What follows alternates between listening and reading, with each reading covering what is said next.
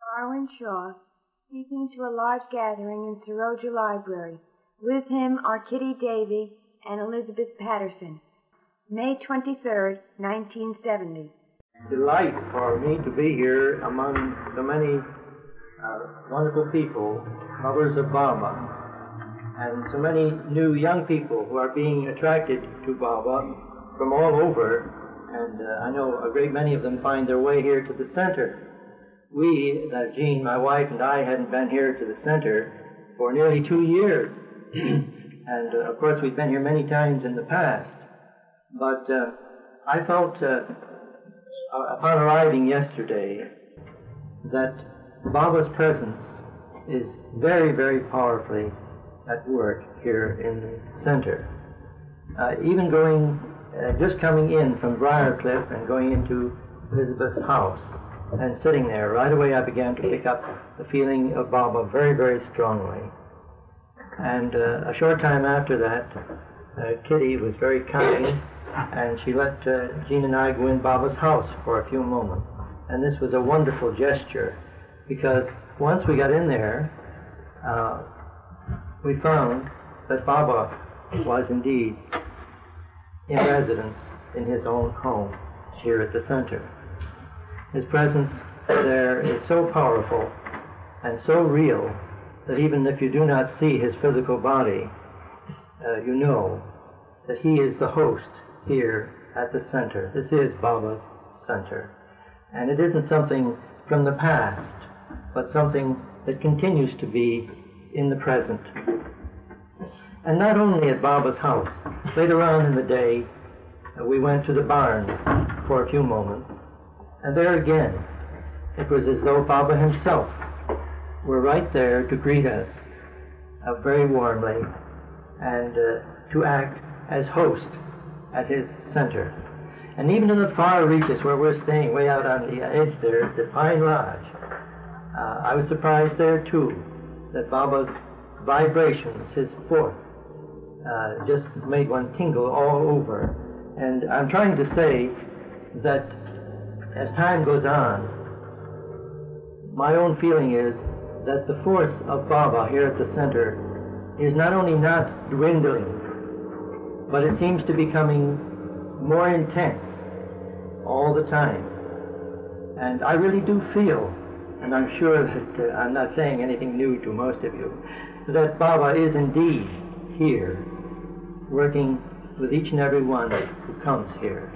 And is a precious and a rare privilege to come here and to be able to absorb the atmosphere of Baba and to get reoriented toward the spiritual goal. Most of you know about Baba a great deal. There may be some who are just getting sort of an introduction to Baba. So I'd like to say that even though it is a large order, uh, something uh, rather difficult perhaps for those who are attached to orthodox beliefs uh, to accept, Nevertheless, we feel that Meher Baba incarnated the infinite reality. And even though he was in physical incarnation and we had the great joy and pleasure and privilege of being with him physically and feasting our eyes upon his spiritual and physical beauty and having the, the great joy of loving embraces from him. Still, all along, he kept telling us that I am infinite consciousness. I am not the body. And uh, this was rather hard for us to really grasp at the time because his body, his faith, uh, the spiritual radiation was so great and so beautiful that it was hard and is still hard for us to to think of him in any other way except as the body we knew. And we're not wrong, actually, in doing this. Though he is infinite, immeasurable, timeless, he took on the body, as did all other forms of the avatar, so that we would have this focal point to think about, to love, and thereby to draw closer to the infinite reality. The avataric form, then, is the doorway to the infinite. So when we think of the avatar and love him, we are growing toward the doorway to God. Meher Baba always made it clear to us that his experience is that he is eternally and unendingly one with each one of us. So as far as he is concerned, he never has to become one with us. He already is one with us. But we simply have to realize this fact which already exists. In other words, he, the infinite reality, or if you prefer, the divine beloved, or God, the infinite, is already one with us, is already latent within us. And we must become conscious of him within. The wonderful thing about Meher Baba's physical presence, which impressed so many, was his love. Never has man experienced this type of love outside of the presence of the Avatar. Divine love is simply beyond any description, and uh, it is something that makes an indelible and timeless impression upon a person. And uh, in the case of Meher Baba, his love was so great that he became a, an ir- almost irresistible magnet uh, to everyone uh, in his area, his vicinity. Even among the Baba lovers who came to be with him for darshan programs and for Sahavas, uh, it was oftentimes only with some difficulty that uh, the lovers uh, practiced their well learned sense of discipline and refrained from crowding up around him to embrace him, uh, to be close to him, and uh, near. this is something that was almost irresistible. but in spite of our, our well trained and well exercised discipline, fortunately, each one of us did manage from time to time to be close to him and to be the recipient of his loving pat, loving embraces. And even in the distance when we weren't close, his thoughtfulness and consideration for the needs of his lovers uh, was felt in the response of his love glances. He could find you in the crowd, each one, and respond to your heart's need with his love glances. And the unique thing about his love was and is that each one was made to feel that his contact with Baba was a very personal one, a very intimate one, one that was extremely important to Baba. And of course, you knew it was important to you. But uh, this is the thing that he was always able to convey to the individual and there were little experiences that went on between the lover and Baba, little things that would happen. In fact, this was the fabric of the cloth of our relationship with Baba. Uh, the little contacts, the little things that would happen, little incidents through the time we were with him physically, and uh, incidents that happened inwardly that uh, made us feel and know that his love for us as individuals was a very real thing and is a very real thing, and that we could have confidence in Him and trust Him more and more until we reach the point where we would dare to plunge into the ocean of His love. He often said that uh, the spiritual path does require daring and uh, this can be interpreted in many ways, of course. And in our backgrounds, I think each one of us, uh, through the experiences of life, acquires some experience in the lines of daring. And this may stand us in good stead when we approach and try to travel the path of love toward the divine beloved.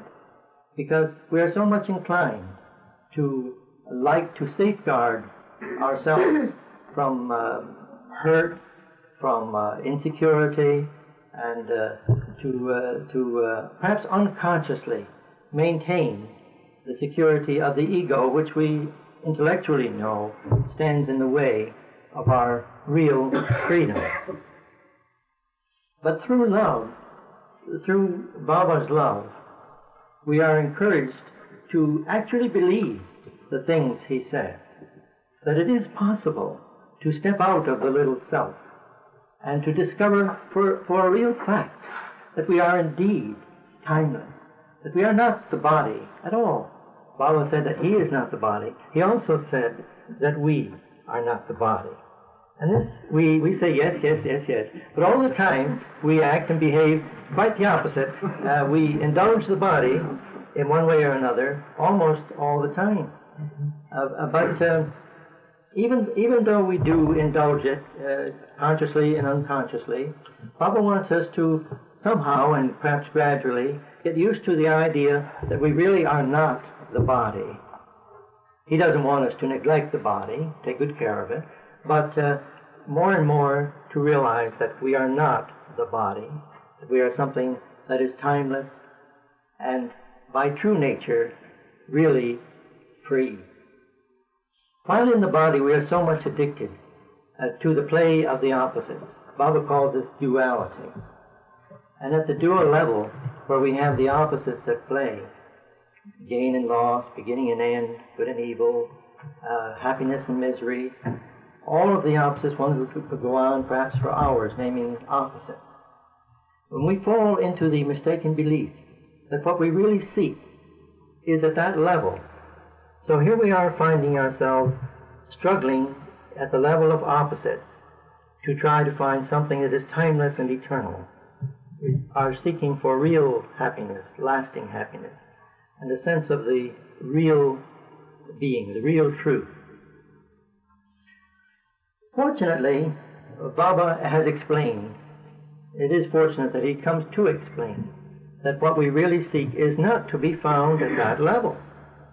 We can go on as we have gone on, not only through this incarnation, but through any number of incarnations, seeking at the level of the opposites for the truth. And the truth is not at the level of the opposite. We have to begin to gradually withdraw from the level of the opposite, from duality. And this is made possible through loving God, through loving the avatar, the divine beloved, and through finding something far more substantial in that love than we find in the opposite.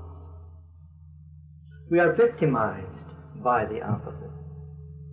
So that we think at times that we are bad, and we also think at times that we are good, and we think at times that we are miserable, and we think at other times that we are very happy.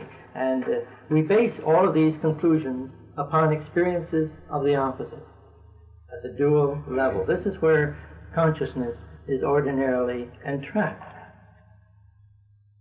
Baba often said, Don't worry, be happy. Such a simple thing to say, but uh, not so easy to actually do. But it conveyed in its simplicity a great spiritual secret. It unveiled a mystery in which we, we may participate uh, a mystery which we may uh, practice and find therein some measure of liberation. By ceasing to worry, even in the face of things which say we must worry, we are asserting something greater than the opposites. The opposites of life say, now you must worry, or now you can be happy, now you must be sad, and uh, now you are bad, now you are good, and all of these things. Baba says, don't worry, be happy. He is saying, assert happiness, do not worry. He is saying that we have an ability to exercise a faculty of not worrying in the face of things which say we should worry. This means that worry which would depress the heart uh, need not be indulged in. That we can keep our spirits up, that we can be happy, even in the face of things which say, no, you can't be happy. It's impossible to be happy now. But he is saying we must assert happiness in its true sense. We must also, he says, assert truth. And we must also assert pure love.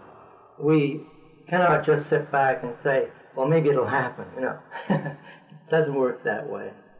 We have to become positive and make the effort to assert the real in the face of the false. We need not be victimized by the tyranny of the opposites any longer. The opposites will continue, of course.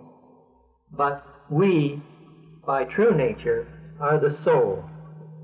And the soul is eternally free, eternally pure, eternally united with God. And through loving Baba and drawing closer to Him in this love and making the effort to assert being happy in His love, we will gradually get free from the bondage of duality or the opposite.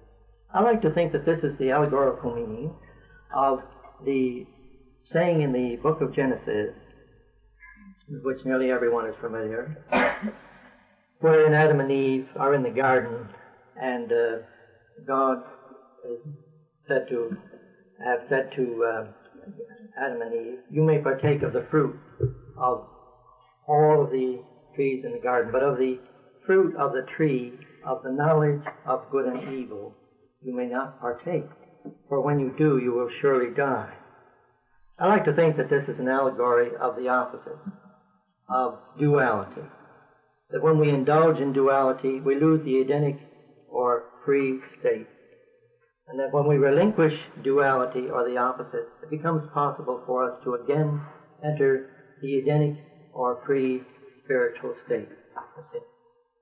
Well, well, Baba does help us along this line. It is, it means work.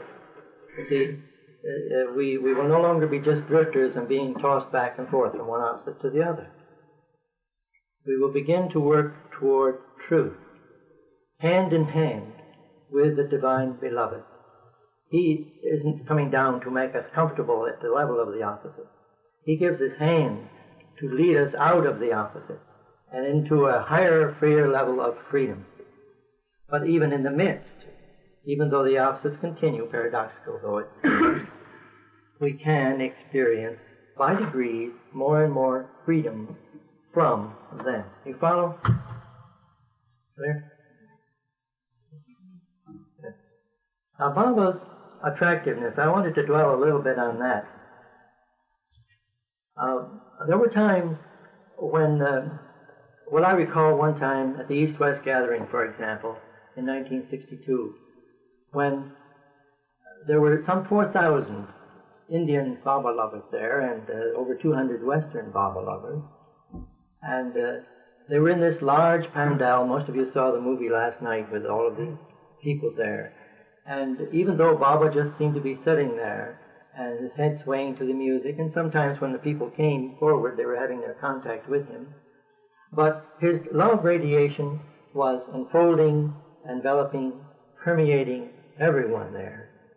And another factor, which was not shown in the movie and couldn't be, was the love of each lover for the beloved as he sat there before them and as they came up to have their contact with him. So that there were mighty forces at work in that pandal during that time, as there always is around Baba, mighty forces of love. And on this one occasion, toward the end of the first day, the forces were so great that uh, my feeling was that uh, I didn't quite understand what was happening at the time, but it seemed like all the forces of nature were just bent on rushing wildly into the awesome beauty of Baba's all-consuming love. It was just something uh, unbelievable. And this is what uh, often happened around Baba. the, uh, the, not only the divine beloved giving the love, but the love of the lovers for the divine beloved. On these very grounds, through many occasions when the beloved was here, we walked with him over these grounds, stood here, sat there, and uh, little incidences happened to this one and to that one.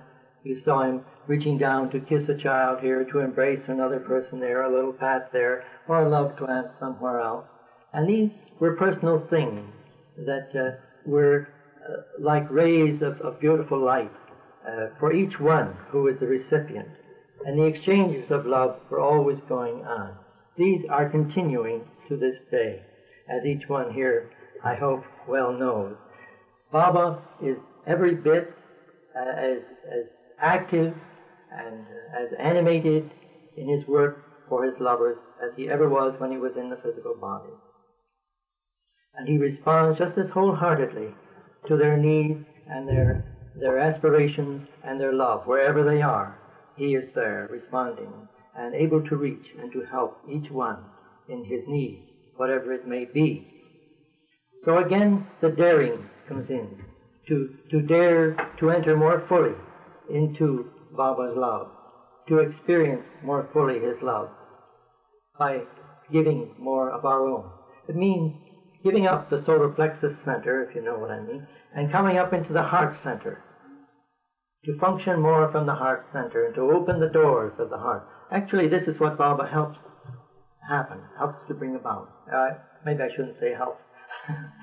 Baba brings about the opening of the heart center, which means that we must love. We learn to love through loving, not through talking about it, through reading about it, through agreeing it's a wonderful thing. We only learn to love through loving. No matter how difficult it is at first, no matter how limited, how faulty, uh, it is only through loving that we learn to love. And the heart must function as love. I mean, even if we can only love just a little bit today, and maybe a little more tomorrow, little by little, our attunement with Baba can be a very wonderful one. And it is all on the basis of love. Love has within it far more revelation than intellectual learning or understanding. The true love has great insight within it. And it opens up, it is possible or capable to open up uh, levels, to unlock levels within us, which may lie dormant at present, which may, we may not even know that we have. We do, each one of us, have levels within which are great, which give us un, unmeasured freedom, and in which we may experience beauty beyond our dreams and the real spiritual riches, so that by comparison the worldly values are more easily relinquished. It is not for the saints of old, uh, the, the um, ascetic and those who go to the caves and the cloisters to just give up the world and seek God. The Meher Baba came so that we would understand that this is meant for each one of us wherever we are, whatever our place in life, and that we should not feel that we have to run away from life, whatever our job is, whatever our destiny is. We must go ahead with our job and our destiny and fit in wherever our place is. But know that God can be experienced there, that we can love Him, that it is possible for us to experience Him there, in the midst of everything. Because the false cannot supersede the truth. It is quite the contrary. The truth is the real power, the real authority. And wherever we are, no matter what the situation, we must assert and live by the truth. And this is best done by inviting, evoking, loving the divine love of the Master. It's something that we don't do alone. We can't do alone. We can do with His help by holding His hand by thinking of Him, by loving Him as much, as often as possible. It becomes our greatest joy. So, um, maybe I've spoken enough on this theme now. Perhaps someone might have a question or something else they'd like to have me talk about. Anyone like to ask something? Nice to know about. Yes. As far as gross desires for different things, uh, what is, I mean, like, uh, say, uh, uh, you want to go out and uh, you'd like to buy a new car. Is this, uh, is this being practical or is it, uh, This being practical, like, yes, this is one of the things that, that uh, we have learned through the years with Baba, that uh, he was very, very practical, and uh, by staying with Baba, we discover that we must become very practical. That uh, uh, we must face these things, uh, the, wherever we live, the things we must encounter, we must deal with them intelligently and in, in a positive way, in a very practical way, yes. is it wrong to enjoy sensation? Well, this is, there's no pat answer to these questions. You see, what is right for one person is not for another. It depends upon uh, your own values, you see. There comes a time when each one of us as an individual is, is uh, normally and naturally inclined to wish to indulge in the love of God in preference to many other types of indulgence, you see. So it's, it's a matter of, uh, of growth. Baba said that we have to become gradually mature in his love. It is a matter of maturing. And this is something that we cannot actually hasten uh, too much, but still perhaps we can do something toward maturing in his love. Uh, other, another way of saying is growing up, uh, uh, you know, little by little, becoming more. May. I yes. answer that question? Uh, Barbara, it, you were speaking of buying a car. Well, Uh, now, may I say this? Baba says there's nothing wrong in money itself. It's what you do with it. So let's apply it to the car. What are you going to do with the car? Is it solely for yourself? It's whether it's, um, is it going to be selfish thing? Or you're going to use it for other people? That's applying uh, the teaching to it. Now, are you going to be selfish or unselfish with it? Well, after all, you have to get around. There's nothing wrong. You don't want to go back to a horse. Baba rode in cars. Is maybe you'd like to say more though? That, that might have well, what I meant by sensations is just recently I started skydiving, and uh, Well, there again, we spoke of daring. Um, actually, uh, actually, uh, things like that could be a good background. Uh, you might be interested to know, if you, if you don't already, that uh, Dr. William Donkin, who wrote the wonderful book, The Wayfarers, uh, was himself quite an adventurer as a young fellow. And uh, he, on one occasion, rode some 1,400 miles across the Sahara Desert by camel during the heat of the Sahara summer and uh, he did a bit of mountain, mountain climbing, things like that. So that uh, he's just one of uh, Baba's close mandali. But this is a very physical means of acquiring uh, this type of background. Uh, maybe your, your need to, to acquire it in this way. I don't know. May I, this made me think of something else. It's strange that he mentioned a car. There is a gentleman, a lady that came down today that had a car that Baba rode in, how many years ago? Uh, we bought it in 51. In 51. Yeah. And Baba rode in it and told them that they should never sell it. They came down in the car, so if anybody wants to see the car the Baba rode in, and they can still come down in it. Uh, that's an interesting point. May I say something about that? Oftentimes the, uh, the question arose, should we buy a new car or not? And again and again, Baba has uh, uh, brought home to us the, uh, the uh, fact that the need wasn't there. The one was there, but not the need because he had the car, but his orders. they live in an apartment and we all can have it. Not too much chance to use it. We have the car, and we, we don't need another car. Once the car has given up its uh, life, then I have to buy a car. Then the need becomes uh, apparent. But wanting is one thing, and needing is another thing. Baba has said, when the need is there, you'll get what you need. I'll give you that. If you live out here and have to go to town 10 miles, you need a car. If you live in an apartment building in New York, where you can very rarely park it anyway, but you need one to come down here. well, now we go on to some Well, that reminds me of the, uh, the old saying, you're all familiar with it. He was tried and found wanting. Which, which has a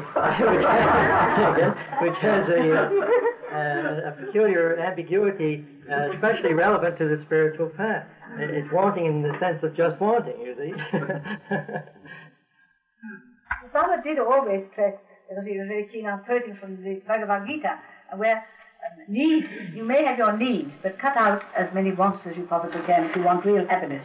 Not this, Baba says, and not that. That, Baba says, is the only way to true happiness.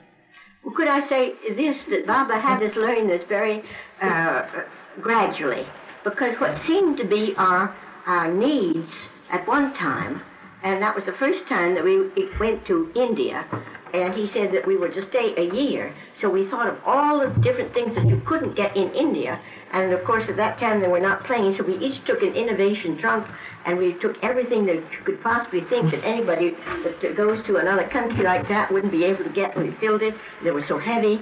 And uh, then uh, we arrived, and Baba said we should look our best. That was the first time uh, that we were there. And thereafter, he said, and now we'll go with bedding rolls up to Kashmir. We left the innovation trunks and all that we had in them and went with bedding rolls, you see. So and then we realized uh, that they just stood there, so the time when we came back, we hadn't used them at all. Robert didn't say. He didn't tell us to bring everything we had, but that was what we thought we needed, you see. But he showed us we didn't. Then, of course, the contrast between the ashram we went to in Nasik when, on our second visit to India and what followed afterwards, which was the uh, austere ashram on Meherabad Hill. Baba didn't put us into the austere ashram to begin with. He put us in Nasik, which had individual bedrooms, individual bathrooms, had ice cream and lovely cakes for tea, and uh, had a cook to cook for us, somebody to wash up for us, and well, Baba called it the luxury ashram. And he lasted, lasted for six months because he said if I had asked you to come straight away into an austere uh, surroundings, I couldn't have worked with you. You would have been so miserable. You would have said you were hungry. You must go down to the bazaar and get yourself more food. And he said, I couldn't have worked with you in the way that I wanted to. To satisfy all your wants at that moment was what I had to do for you to learn certain lessons that I wanted to teach you. When those lessons were learned, and after, oh, I hope they were a little bit taken in, shall I say, not learned, no. After six months, then Baba closed that um, uh, luxury ashram he sent some back to the west, and I suppose those he thought who were ready for an austerer ashram, where you lived on rice and dal and never went out of the compound and didn't read or write or um, do anything of that kind, then Baba took us for the remainder of our time in India up to Meherabad, which was an austere ashram, which didn't have any of those wants, only had your needs. So you see, again, it's a relative question. Baba doesn't want you all suddenly to start selling all that you have and going to live with just one garment and just one garment and with a begging bowl. That's not Baba's way for all of it. If that, that time ever comes that that is for you, individually, Baba will let you know that. But it is not the spiritual path that Baba has chosen at this particular time. Well, may I go on from what you're saying, Yeah. Kitty? Because then we went to uh, Meherabad on the hill. And of course, when you're with Baba, you really feel you're in the center of everything. Don't feel the way everything else is away, but Baba is in the center. And after he got used to that, it, then he, told me and some others, you go back to where to the west, go back to New York City, go back to that life. And it was much more difficult to go back than it was to be over there. And then uh, all your friends see you say, you really don't look a bit more spiritual when you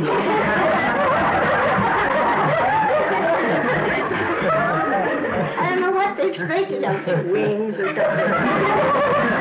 But we did come back with a difference because it isn't that anything Baba minds at all. In fact, if we had guests at the party and Baba was, the very best things are put on the table and more than enough to eat. Baba never skimped if he was inviting people there. But what Baba did want us to be was detached whether we had it or not.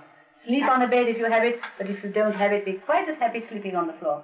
Have meat and good things if you can afford it. If you can only afford to have rice and a little chapati, be equally happy with it. Then Baba doesn't mind anything, whether it's smoking, even if it's a glass of wine sometimes, as long as you're not its slave, and provided that you can also do without it.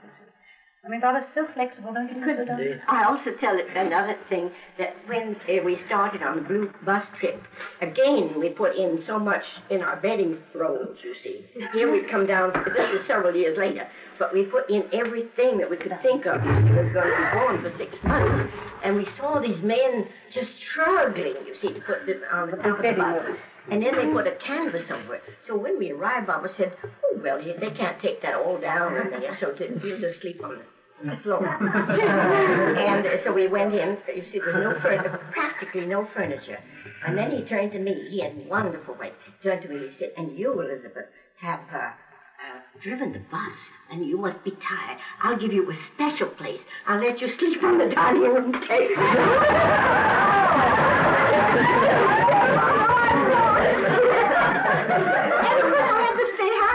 because I never slept. I didn't know what to do.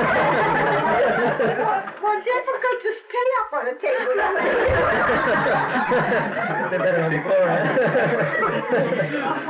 and then we ended on the rest of the tour having only a little suitcase and the blanket which was going to cover us or serve as a cushion we sat on in the bus. 30 people in the bus. And no bedding rolls would be taken down from one place until we arrived at another place for a long stay. So there's huge bedding rolls packed on the top of the bus. Stayed there sometimes four days, so we couldn't take them down. All we had was a little suitcase and a metal cup and a plate and a toothbrush.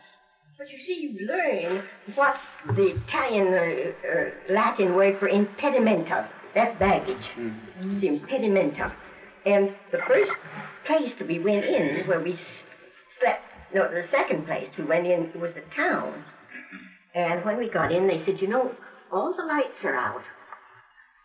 And finally, after a while, we didn't know it, but it was our baggage coming in from the truck. And it knocked down the having anything up there. So, so after a while, my little, you learn through doing. so we had to have candles because of all our baggage. In other words, we carry a lot of excess baggage within. In many ways, in our minds. Yes, in our minds. Any other questions? Yes? You were talking about duality before. Duality. What about duality within? That is where, that's what we're talking about, the duality within. See, this is where we get ensnared in these values. And Baba says a basic truth is that underlying everything there is oneness.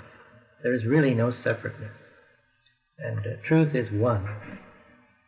And uh, see, we get, we allow ourselves to be swayed. That's why we are miserable and uh, happy as a result of, of uh, relative experiences, outer experiences in relation to a physical body.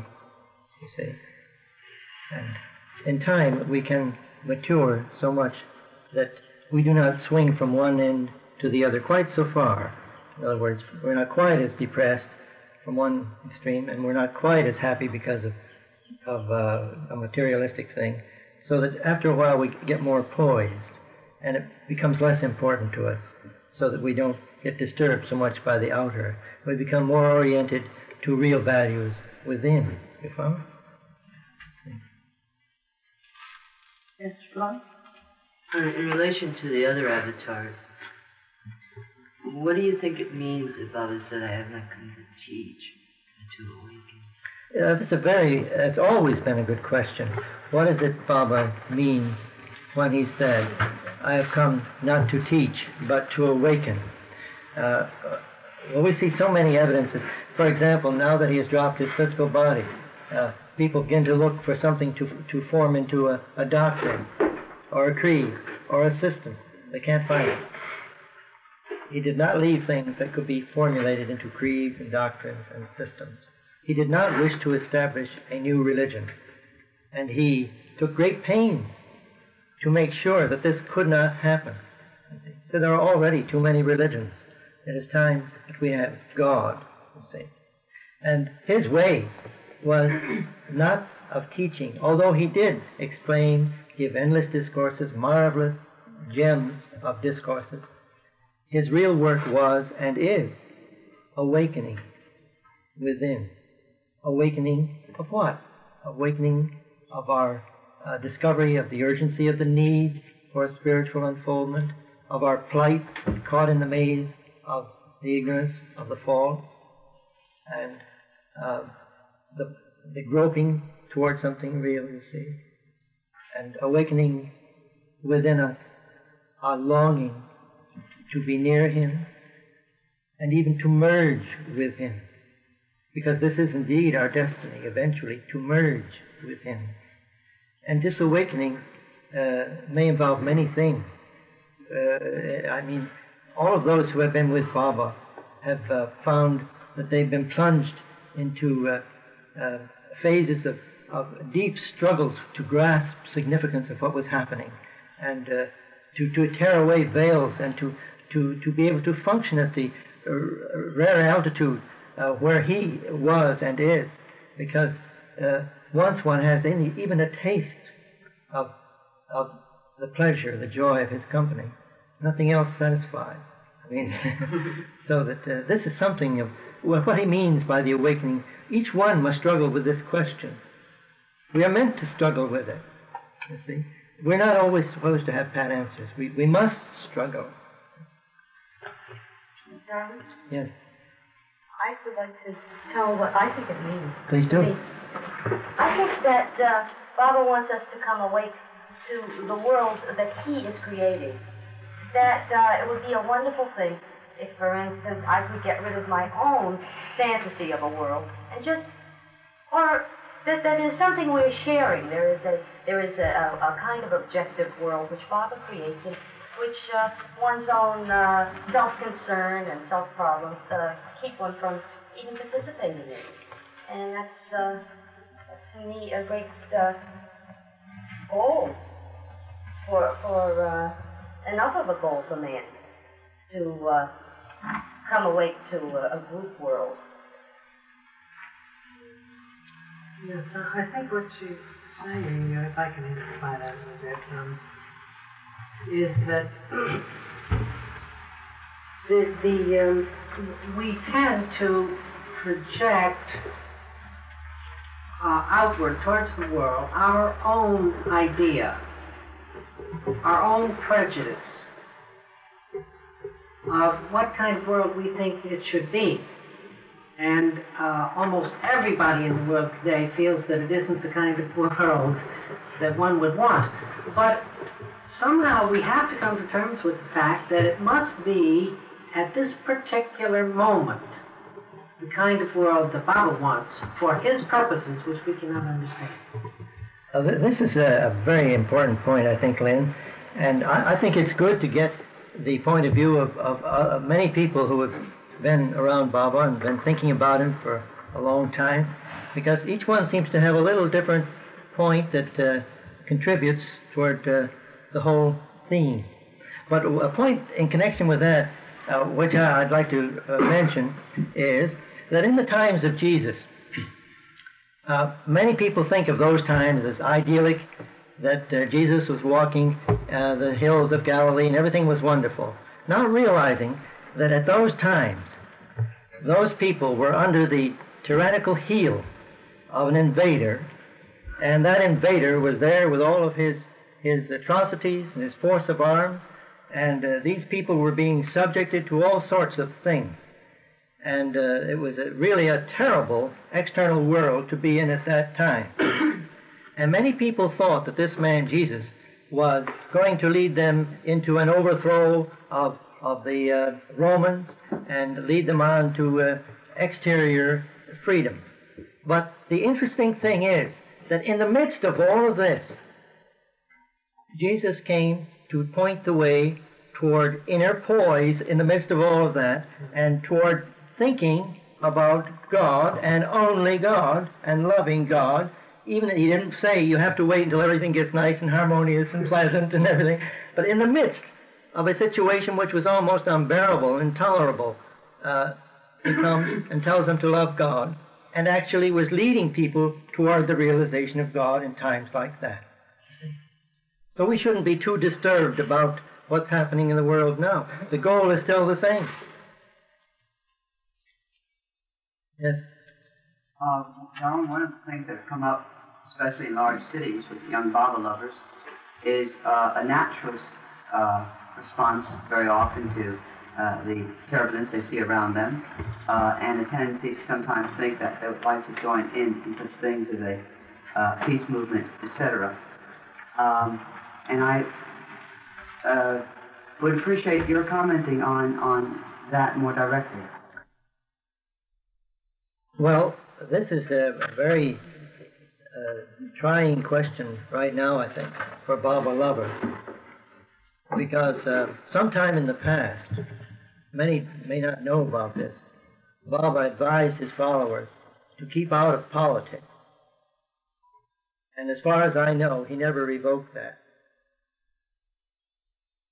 Uh, from his point of view, I'm sure that uh, these things are, on a larger scale, opposites at play. Part of the dual play, you see. And Baba's lovers uh, are trying to get free of the opposites. It doesn't mean, and I don't think he meant, that they should uh, not try to help things in the world in any way that they can. But I don't, I personally, this is my own feeling, I don't think that uh, he wanted his followers to identify him with any particular exterior movement, you see, because he is essentially for everyone and everything. And this is this includes some pretty diametrically opposed opposites. Baba sometimes put things very simply. yes. And when I understood him to say in regard to politics, he didn't want, that doesn't mean to say that you shouldn't vote or any of those things of that kind, but to go into politics because to be thing, you have to be against something else. Duality that you get into deeper instead of the uh, unity. Baba's point the way to oneness. I would. Uh, and not through hitting somebody, you don't get to oneness. You, you know, Oh, if, yes. Well, I- but I- if you saw somebody that was hit, that's no sign you shouldn't help them. We're for oneness and against duality. What's that? We're for oneness and against duality. You can't be. You really haven't. You never felt that Baba, in oneness, that Baba was for one people more than another. He never thought he was more for me than he was for Kitty, or he would be more for this little girl than he is for you, or be an- more for anybody, Or one country, or one country. And even, and I quote this, when we were in India and the and um, the Chinese were coming over the border, and you know it's very uncomfortable to be in a country with an enemy just coming over the mountains. And they said, Baba, this is terrible. Baba just smiled at them, and he said, and I am also in the Chinese. He made the. He's in the soul. I didn't mean to say he's in them as a uh, individual. He's in them as their political, because he's not in them in their political, but they have a soul. Everyone has a soul. He's in their soul. Jim wants to ask something. Yes, Jim? Well, I'm just, uh, this Saturday, I'm going to receive a degree in political science, and, uh, uh, you know, I, I tend to think one of the reasons I went into it was because I felt like uh, that if you could end some of the, the strife and uh, uh, uh, problems within people and uh, between people, uh, end some of the poverty which uh, separates people, uh, the uh, the war, the, the crime, and things like this, that you would be doing something which would be good for for uh, mankind as, as a one, and not just you know yourself or uh, just a selfish desire.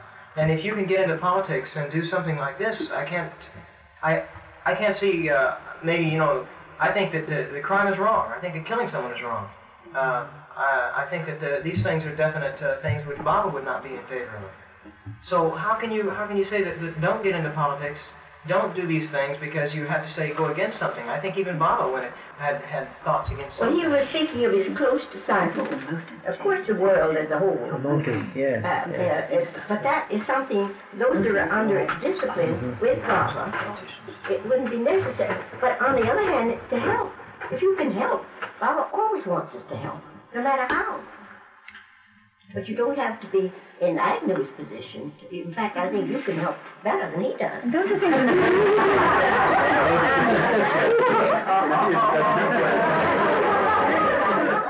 Don't you think the motive changes? With Baba, he's presented so much more the motive with which you do everything. Some people go into politics for power, for greed, for a name. But you just now said you were going in because you wanted to help mankind.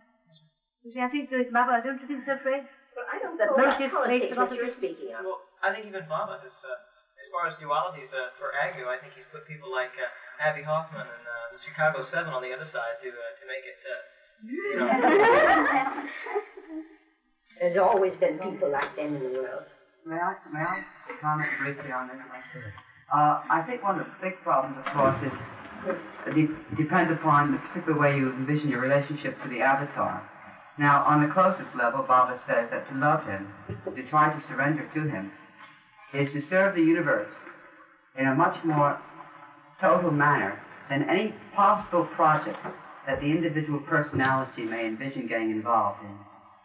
So that if we are in the process of drawing close to Baba, but still not to the point where he seems to be indeed the, the one reality, it is not true when we see some of the apparent, uh, the great ignorance, the apparent evil of the world, to want to get in there and join this movement or that movement. But what happens, of course, is that our consciousness gets caught up in being in this group versus that group. While Baba says that actually, though we might not do a single thing in terms of actually sending out uh, a literature about uh, uh, ending uh, the draft or this or that, we're going to be much more used to bring about the ultimate goal, which is liberation for the soul, by simply loving Him than by getting caught up in the duality of politics. Because one of the mechanisms of creation is that there will always be souls entering the human form at various levels of spiritual evolution. And younger souls have heavy, heavy deposits of the pre-human experiences, pre-human sanskaras, of lust, anger, greed, and that we can never really expect in terms of uh, creation, in terms of, for, for all time, a world of eternal peace. Because after all, the conflict that we see on the international level is simply the collective manifestation of the egos of individuals on a singular level. That is, our institutions mirror the collective consciousness of our people.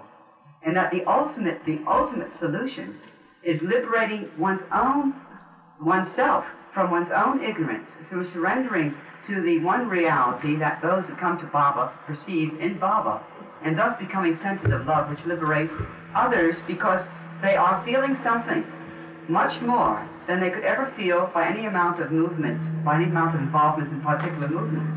But that's not to say that the peace movement or anything else is being put down, because undoubtedly those souls who have not yet reached the, have not yet accepted this particular path as being the ultimate path one must travel, are preparing themselves to travel this path through their life of service and concern in the various movements in which they find themselves. But for those who come to Baba, ultimately, when one feels it's right within himself, one will find that one can be of much greater effectiveness in bringing about a greater world of love through simply surrendering to the avatar and bringing that love to whatever position we find ourselves in, whether it be a teacher or a waitress. It doesn't matter because all things are equally vehicles of spiritual awakening once you make contact with the infinite source.